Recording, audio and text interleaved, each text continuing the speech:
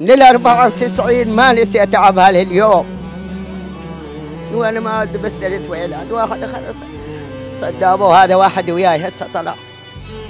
وواحد هذاك إي والله أم العراق أنا أنا مفتخره بس القلب الوالدة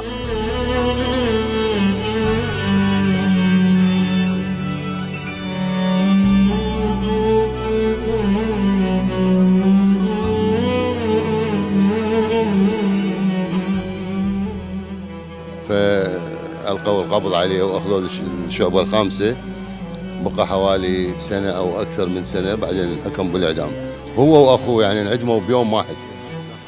كل عائلة عندها قضية وعندها قصة. هذا ظلم السنوات وظلم النظام السابق. اليوم راح نتعرف عليه. صور مختلفة لكن هي الأوجاع واحدة. وزارة الدفاع ظلت محافظة على حقوق هذه الشريحة المهمة واليوم راح تسلم وجبة من هذه العوائل مستحقاتهم المالية. السلام عليكم. عليكم السلام أستاذ.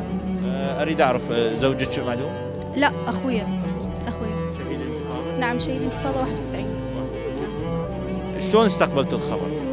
تذكرين نفس الشيء نرجع للماضي والله هي أكيد فاجعة يعني ما أقدر أوصف لك إياها يعني. أكيد ما أقدر أوصف لك إياها. يعني هي أصلا ما تنوصف يعني ما لا بكلمة تحصرها ولا بجملة ولا ولا بأي شيء يعني. إحنا ما نريد نقلب المواجع لكن وزارة الدفاع يعني وجهت لكم الدعوة لاستلام المستحقات نعم نعم مشكورة وزارة الدفاع يعني ومؤسسة الشهداء مشكورين يعني جدا بدنا نشوف إحنا جهود جهود يعني يبذلوها من أجل عوائل الشهداء وهذا هم أكيد واجبهم تجاه الشهداء لكن إحنا هم بالمقابل نشكرهم بهذا الشيء.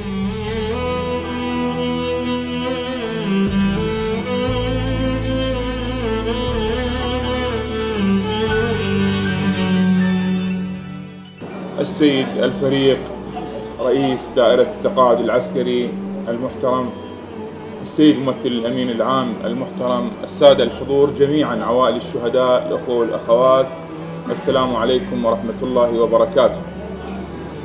بدءا نتقدم بالشكر الجزيل والثناء الجميل لوزارة الدفاع ممثلة بالسيد الوزير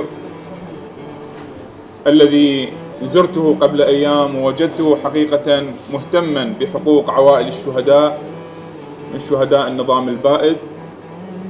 وأيضا تحدثنا حول موضوع ال- الرواتب المتراكمة باعتبارها أحد المستحقات القانونية للشهداء الذين سابقا كانوا منتسبين لوزارة الدفاع.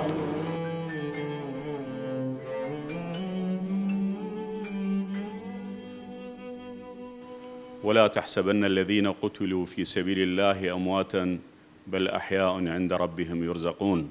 صدق الله العظيم. برعاية معالي السيد وزير الدفاع المحترم وبمتابعة السيد الأمين العام المحترم وبالتعاون مع مؤسسه الشهداء تم هذا اليوم إقامة احتفالية توزيع الرواتب المتراكمة لذوي الشهداء العسكريين المعدومين في زمن النظام البائد في مقر دائرة التقاعد العسكري. حيث تم توزيع مبلغ 30 مليار دينار المخصص من قانون الموازنة الاتحادية لعام 2021 والعوائل التي استفادت من هذا المبلغ بحدود 600 عائلة. نأمل أن يتم تخصيص مبالغ أخرى لشمول بقية العوائل تحية لدماء الشهداء الذين ضحوا بدمائهم من أجل العراق.